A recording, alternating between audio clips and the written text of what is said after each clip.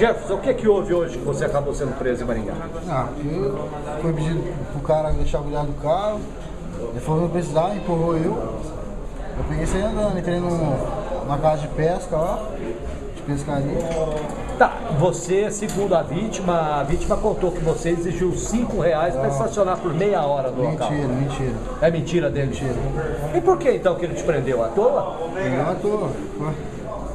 Não exigi nada não, tem até prova ainda, tem até testemunha. Vocês discutiram na hora lá? Houve discussão? É, empurrou eu. Ele te empurrou e você reagiu. Não, não reagi nada, saí andando. Você sabia que ele era policial no momento que ele estacionou? Não. Não sabia? E por que, que você deixou o local então? Ah, porque ele trouxe eu dentro do carro, né? Colocou dentro do carro e trouxe. Tá, mas você disse que ele foi atrás de você para te prender. É, foi, buscou lá dentro do negócio de pesca lá. E por que, que você deixou seu ponto de trabalho na hora?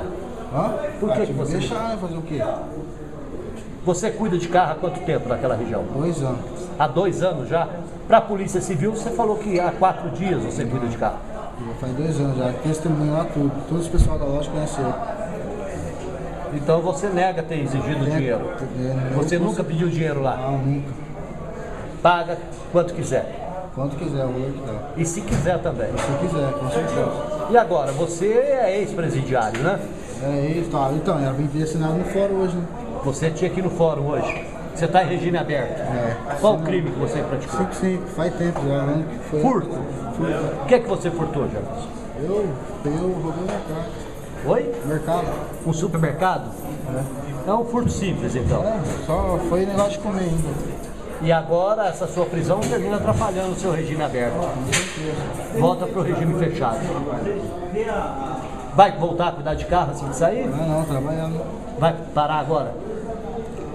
Qual o aviso que você dá para os motoristas aí que estão estacionando aí que são abordados por flanelinhas? Pra cuidar, sei lá, se deixar, se deixar cuidar, cuida. Se não deixar, não cuida. Já, Não pode forçar a barra, né? lógico.